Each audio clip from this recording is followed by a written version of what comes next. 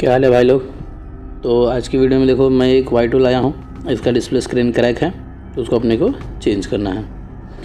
तो मेरे चैनल में आपका एक बार फिर से स्वागत है। तो आज की इस वीडियो में हम लोग देखने वाले हैं रेडमी एम का जो वाई टू मॉडल है, उसका डिस्प्ले स्क्रीन जो चेंज किया जाता है, उसका जो प्रोसेस है, उसका जो मेथड है, वो किस तरह से काम करता है, वो किस तरह से किया जाता है। तो आज की इस वीडियो में हम लोग वाई टू का डिस्प्ले स्क्रीन चेंज करने का मेथड सीखने वाले हैं, ठीक है? अब इसका बैक पैनल पहले तो खोलना है, उसके बाद पैनल्स में नीचे स्क्रूज रहेंगे, वो भी पैनल्स खोलने हैं। फिर अपने को बैटरी निकालना पड़ेगा, चार्जिंग का बोर्ड भी खोलना पड़ेगा, और सबसे पहले तो यहाँ फिंगरप्रिंट जो है उसको संभालिए, क्योंकि ढक्कन आपने ज़ोर से खींच दिया तो फिंगर सेंसर की वाट लग जाएगी, वो टूट जाएगा। तो आराम से चिमटी या ऐसे ओपनर की मदद से फिंगर सेंसर निकाल दीजिए आपका सेफली फिंगर निकल जाएगा। तो फिंगर का भी नुकसान होगा। देखिए, और जो, ये जो बोर्ड है, वो पूरी तरह से सील पैक है, अभी तक खुला नहीं है। इसको फ़र्स्ट टाइम हम ही लोग ऑन रिपेयर कर रहे हैं, ठीक है? ऑन कैमरा हम लोग फ़र्स्ट टाइम इस मोबाइल को रिपेयर कर रहे हैं, क्योंकि ये टोटली सील पैक बोर्ड है। इससे पहले इसको किसी ने रिपेयर नहीं किया है, कुछ नहीं किया है, ठीक है? तो अभी इसके स्क्रूज जो हैं, जो उसको भी हम लोग फटाफट खोल लेते हैं। क्योंकि पैनल्स के बिना बैटरी का और निकाले और बिना बैटरी को रिमूव किए हम लोग फिंगर डिस्प्ले स्क्रीन चेंज नहीं कर सकते क्योंकि डिस्प्ले का जो स्ट्रिप होता है, वो बैटरी के नीचे से है। और डिस्प्ले का कनेक्शन भी तो मेन मदरबोर्ड में करना है तो पैनल तो खोलना ही है। तो इसका पैनल खोल लेते हैं। और इसमें देखिए टच और डिस्प्ले अलग अलग आता है। तो इसके लिए अपने को नीचे से भी इसको खोलना पड़ेगा। ठीक? तो हम लोग इसको नीचे से भी खोल देते हैं।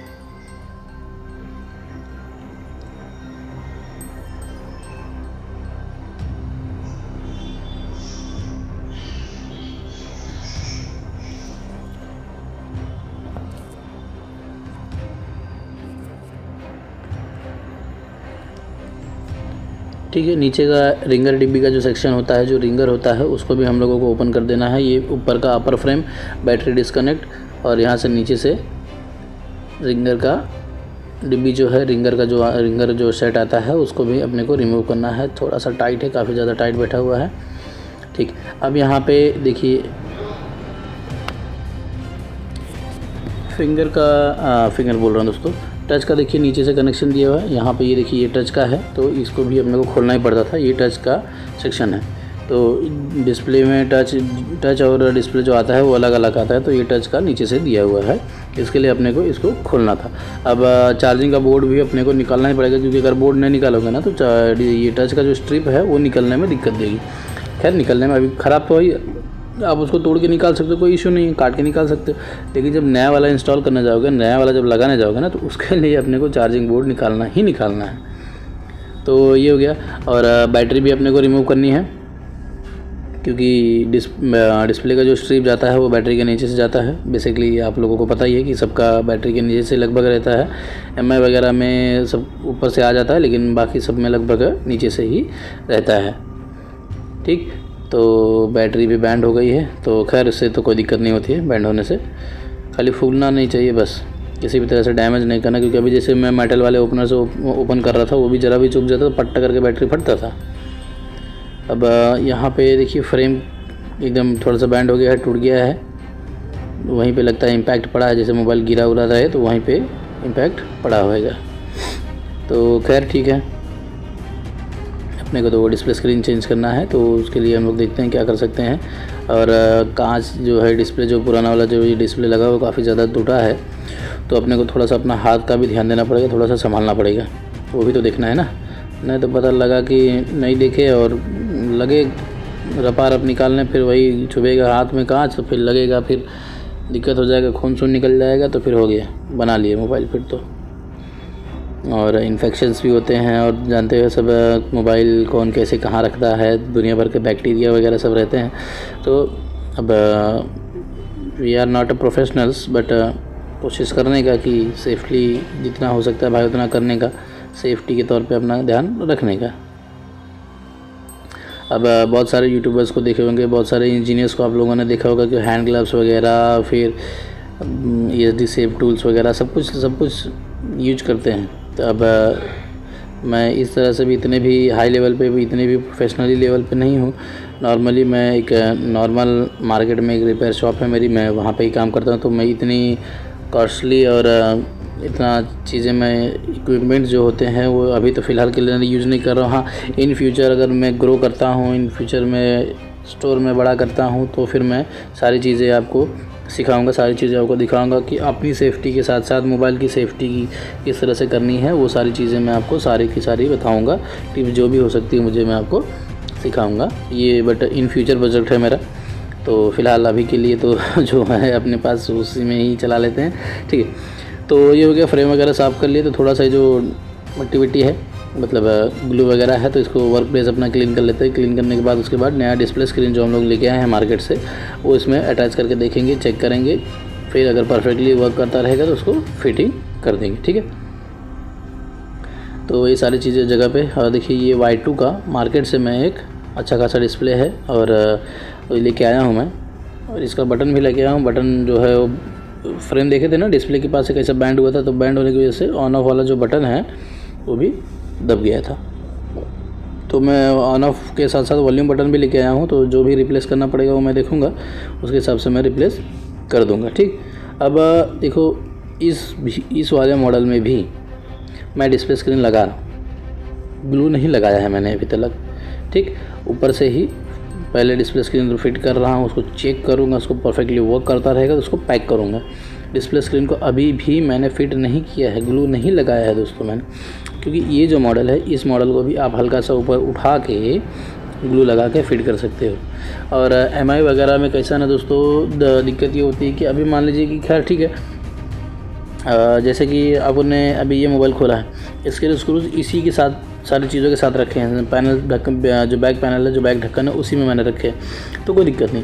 लेकिन बाई चांस अगर स्क्रूज इधर उधर करते हैं, एक दूसरे का मिक्स होकर हो जाता है। एक आधा स्क्रू भी छोटा, बड़ा हो गया, बड़ा अगर हो गया तो हम लोग ध्यान नहीं देते हैं फिटिंग कर देते हैं डिस्प्ले स्क्रीन और जब स्क्रू मारने जाओगे ना, टप्पा से डिस्प्ले स्क्रीन तोड़ देगा तुम्हारा। तो नुकसान अपना हो जाएगा, समझे?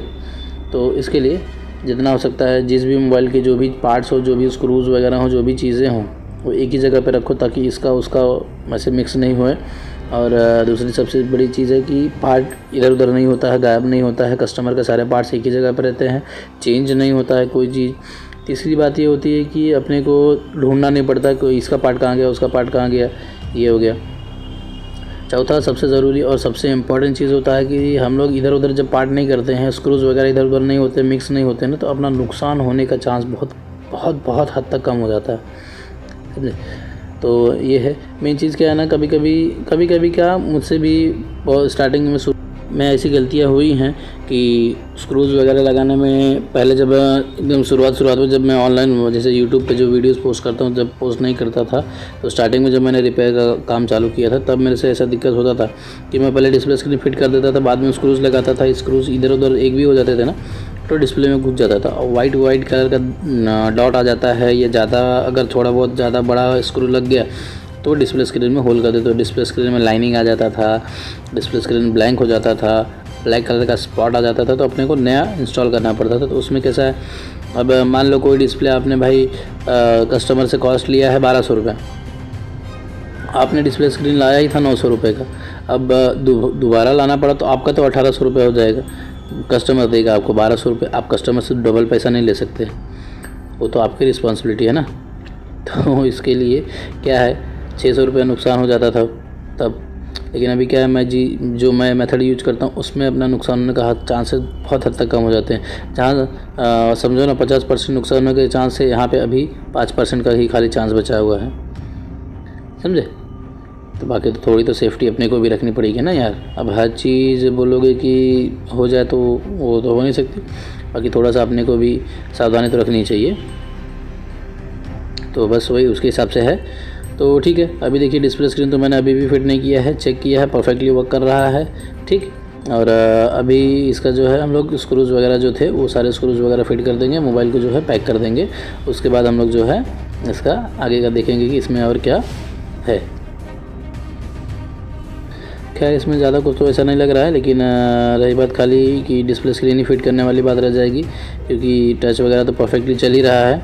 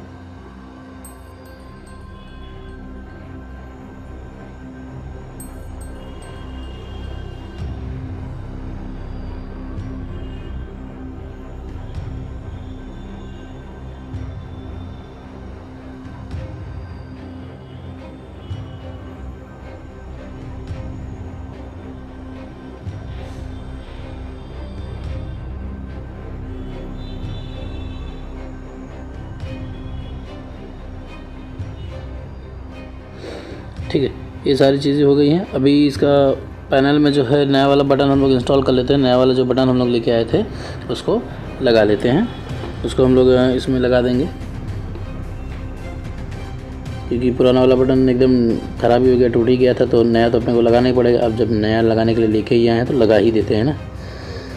तो ठीक है, ये बटन भी अपना हो गया है। वॉल्यूम का जो बटन है, वो लगभग सही लग रहा है तो वॉल्यूम का अपने को बटन रिप्लेस करने की ज़रूरत तो नहीं है, लेकिन फिर भी एक बार देख लेता हूँ। खैर, वैसे ब्रेक वगैरह तो नहीं है।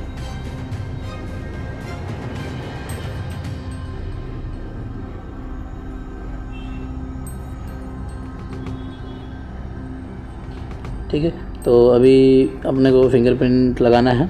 और फिंगरप्रिंट देखिए दोस्तों, लगाने में भी काफ़ी दिक्कत होती है, लेकिन थोड़ा सा ध्यान रख के संभाल के लगाओगे ना तो कोई परेशानी, कोई दिक्कत नहीं आएगी।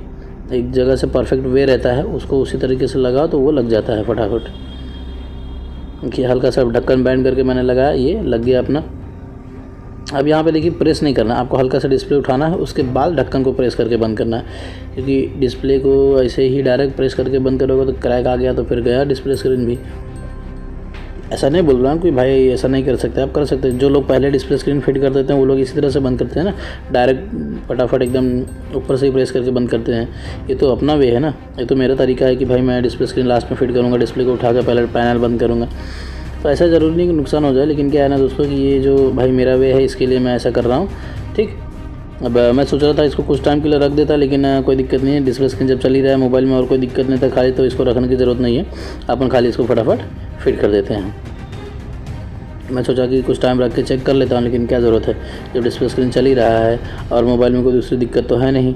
कस्टमर ने बोला कि भाई हल्का सा टेबल से गिरा था और ख़राब हो गया तो उतना कोई दिक्कत नहीं है। अगर मान लीजिए कोई दिक्कत होती तो मोबाइल हीट वगैरह भी होता या कुछ शॉर्ट वगैरह होता या चालू नहीं होता या डिस्प्ले में कुछ और दिक्कत आती, लेकिन ऐसा तो कुछ है नहीं।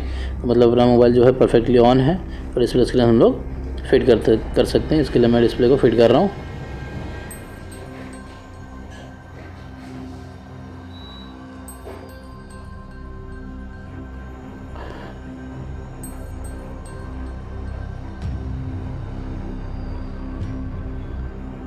ठीक है। और ये स्टिकर हमेशा ध्यान रखना, इसको काटना ही पड़ेगा, क्योंकि नहीं काटते हैं कई लोग तो जब डिस्प्ले स्क्रीन हम लोग फिट कर देते हैं ना भाई तो हल्का सा एक जगह वाइट वाइट दाग दिखता है। जहाँ तक स्टिकर रहता है, वहाँ तक ग्लू के साथ साथ वाइट वाइट दिखता है तो वो अच्छा नहीं लगता तो निकाल देने का, समझे? तो ये हो गया। हमारा डिस्प्ले स्क्रीन जो है वो फिट हो रहा है, फिट हो गया है लगभग। ग्लू वगैरह लगा दिया, अब अपने को खाली रबड़ लगाना है, रबड़ लगा के इसको कुछ टाइम रखना है। लगभग एक घंटा तक हम लोग रखते हैं। उसके बाद जो है अपना मोबाइल रेडी हो जाएगा। आप इसको दे सकते हैं। ठीक है तो ऐसे ही बने रहो मेरे साथ मेरे चैनल पर मैं आपसे अपने अगले वीडियो में मिलूँगा और कुछ और भी बेहतर और भी कुछ इंटरेस्टिंग वीडियोस रहेंगे तो मैं आपको ज़रूर उसको बारे में वीडियो बनाऊँगा, उसको आपको सिखाऊँगा, उसको आपको दिखाऊँगा कि काम कैसे करते हैं, कौन सा चीज़ कैसे करना है, वो मैं आपको दिखाऊँगा। ठीक है दोस्तों? तो ठीक है, चलिए फिर मैं मिलता हूँ अपने अगले वीडियो में।